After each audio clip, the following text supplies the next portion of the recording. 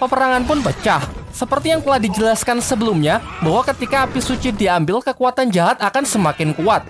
Hal inilah yang membuat para klan kerbau sangat kesulitan menghadapi mereka.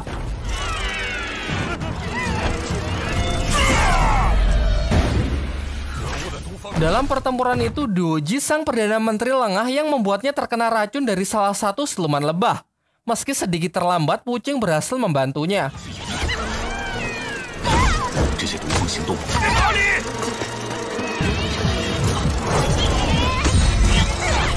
Sedangkan saat Bailang disibukkan dengan puluhan musuh yang mengepungnya, memberikan peluang bagi siluman tersebut untuk menculik Xioi yang ternyata menjadi sasaran mereka sedari awal.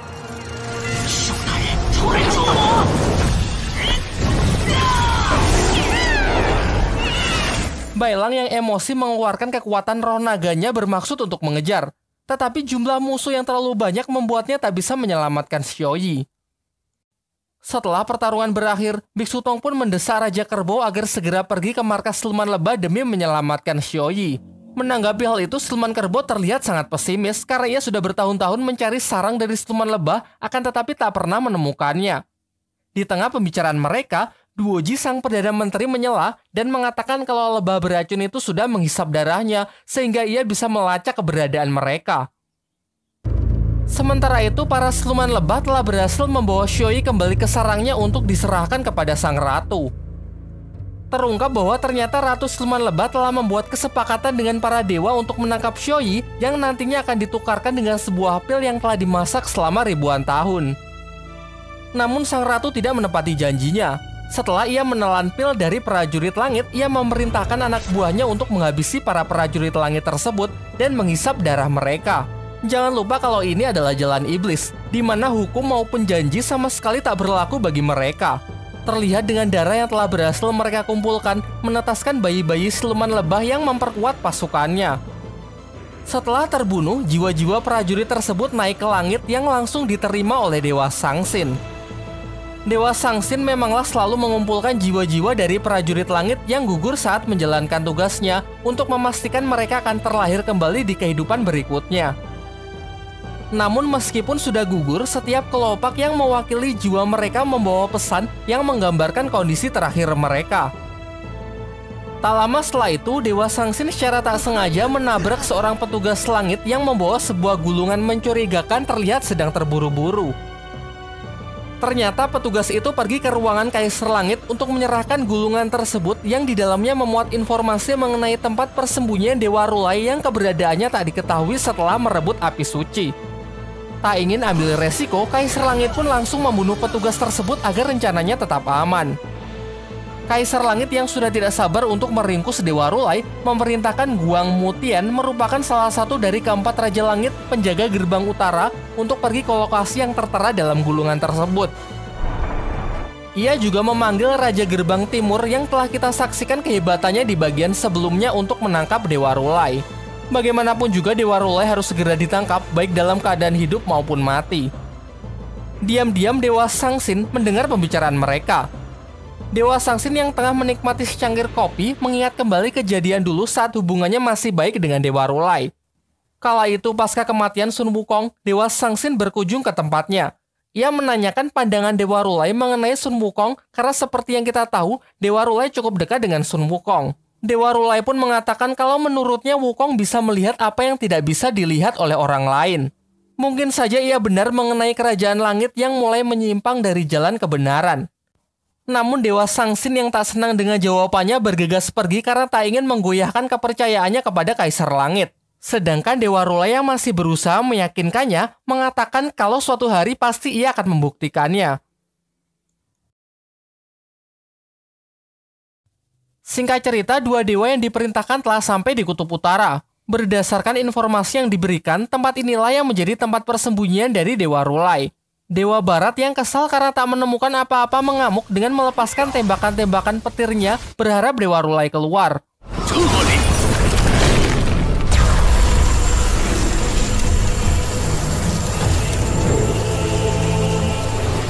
Hingga akhirnya Dewa Timurlah yang berhasil mengungkap keberadaan Dewa Rulai yang bersembunyi di balik sebuah bongkahan es di sana.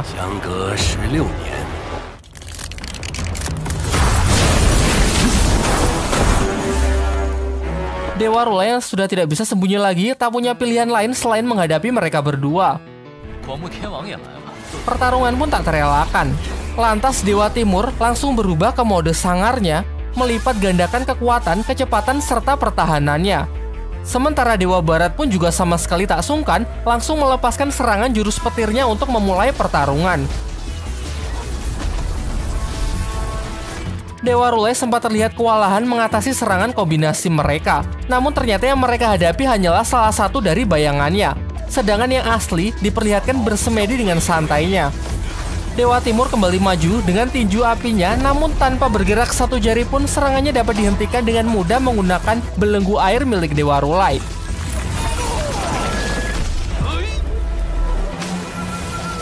Selanjutnya, sambaran petir dari Dewa Baratlah yang mengharuskannya bertarung lebih serius, karena nampaknya elemen petir adalah counter alami dari kekuatannya. Sadar akan hal itu, Dewa Barat lantas segera mempersiapkan petir dengan tegangan tertinggi yang mampu ia buat. Sementara Dewa Timur yang memiliki ketangkasan dan kelincahan terus melakukan pressing dengan serangan jarak dekatnya. Meskipun ia dipandang sebagai dewa terkuat, tetap saja jika harus melawan dua Raja Langit sekaligus, Dewa Rulai masih sangat kesulitan. Secara bersamaan, mereka terus menggempur Dewa Rulai baik dari jarak dekat maupun serangan jarak jauh.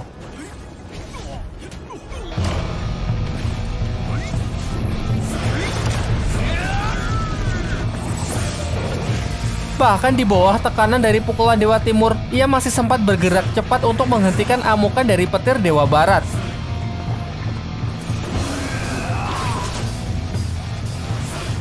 Sang Dewa Petir yang tak ingin dipermalukan akhirnya benar-benar all out dengan menunjukkan wujud Buddha petir raksasanya yang sekilas mirip Susano di anime Naruto ya. Ketika Dewa Rulai melompat ingin menyerangnya dari jarak dekat, Susano tersebut langsung menggepreknya. Namun dengan aura yang sangat kuat, Dewa Rulai pun berhasil terlepas dan melanjutkan niatnya untuk melakukan serangan bertubi-tubi untuk menjatuhkan monster tersebut.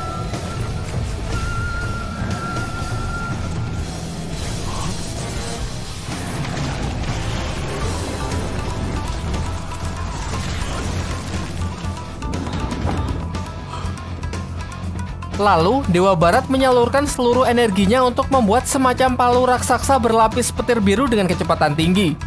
Terbukti Dewa Rulai dengan kecepatan supernya tak sempat menghindar dan hanya mampu menahan menggunakan kedua tangannya saja. Hal ini membuat pertahanannya terbuka yang kemudian dimanfaatkan Dewa Timur untuk menyelesaikan pertarungan tersebut.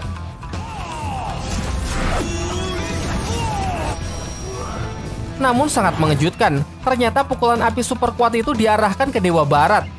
Seketika rekannya tersebut pun tumbang bersamaan dengan lenyapnya Susano Petir raksasanya. Namun bukannya tanpa sengaja, ia pun menjelaskan bahwa ini semua ia lakukan justru untuk mempertahankan kerajaan langit agar tidak jatuh ke dalam kegelapan. Ia kemudian malah menyampaikan rasa terima kasihnya kepada Dewa Rulai yang telah banyak berkorban untuk kerajaan langit lebih dari 10 tahun lamanya. Jelas hal ini membuat Dewa Rulai kaget lalu mempertanyakan jika Dewa Timur sadar sejak awal mengapa ia tak membantu. Mengenai hal itu, Dewa Barat beralasan bahwa selain menjadi pimpinan tertinggi di Kerajaan Langit, Kaisar Langit dahulu adalah teman dekatnya. Namun seiring berjalannya waktu, ia juga mulai menyadari kalau sedikit demi sedikit sifat Kaisar Langit mulai berubah.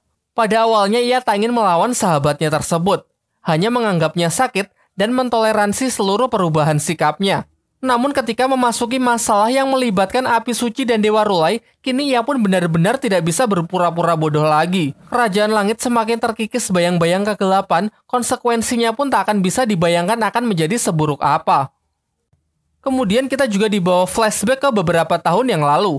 Di kediamannya terjadi peristiwa yang sangat mengerikan. Salah satu pelayannya mati mengenaskan diselimuti aura kegelapan yang tersembunyi di dalam kerajaan langit. Ia lantas menceritakan masalah ini kepada Dewa Rulai yang kala itu masih menjabat menjadi dewa yang dihormati di kerajaan langit. Menanggapi hal itu, Dewa Rulai pun mengatakan kalau menurutnya terdapat dua kemungkinan. Kemungkinan yang pertama adalah ulah dari jiwa iblis dari dunia bawah yang mencoba menerobos. Kalau itu benar, pasti jiwa iblis tersebut sangatlah kuat. Namun yang sulit dikatakan adalah kemungkinan kedua, yaitu kegelapan tersebut tumbuh dan berkembang di dalam istana langit itu sendiri. Sekarang setelah rangkaian peristiwa yang terjadi, ia pun mulai mengerti Lantas ia pun mempercayakan Dewa Rulai untuk pergi demi mendapatkan lebih banyak petunjuk lagi agar kebenaran dapat kembali ditegakkan. Sedangkan Dewa Timur akan tetap tinggal menunggu pasukan langit yang pasti akan segera datang untuk menangkapnya. Ia juga menyuruh Dewa Rulai agar tidak cemas karena ia sudah memiliki rencana tersendiri. Dan benar saja, sesaat setelah Dewa Rulai pergi, pasukan langit pun datang untuk menangkapnya atas perintah dari Kaisar Langit. Kaisar Langit pun benar-benar tidak menyangka jika teman yang sangat ia percaya bersekongkol dengan Dewa Rulai untuk mengkhianatinya. Ia lalu menegaskan bahwa ini adalah dosa yang tidak terampuni. Lanjut ke bagian 8. Uh, tetapi mungkin agak lama karena serialnya sendiri masih ongoing ya. Jadi sembari menunggu akan disajikan beberapa alur cerita lain. Uh, semoga kalian suka. Dan jangan lupa subscribe jarang-jarang loh saya minta subscribe. Ya kan? Jarang-jarang kan?